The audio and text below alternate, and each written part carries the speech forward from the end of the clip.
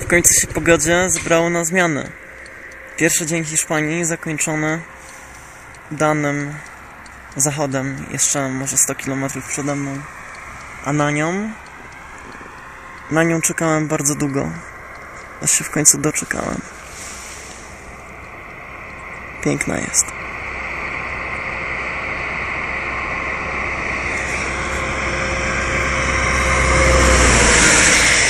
Cały czas za mną gonią takie tiry. Nie jest to, nie jest to w ogóle przyjemne. Ale cóż, tęcza, tęcza miała mnie pod swoją opieką cały dzień. Czekała na ten moment, żeby się wyłonić. Musiałem na to chyba odpowiednio zasłużyć. Przechodząc kolejny test survivalowej, yy, makabrycznie ciężkiej do przetrwania pogody.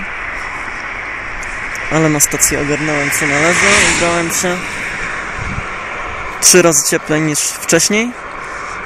Wedle taktyki Tianki założyłem wszystko, co można założyć.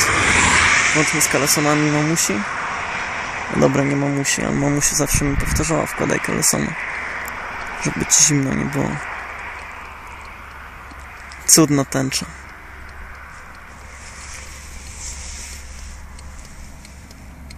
Просто шоссе. Ну, tad slušaj. Arī var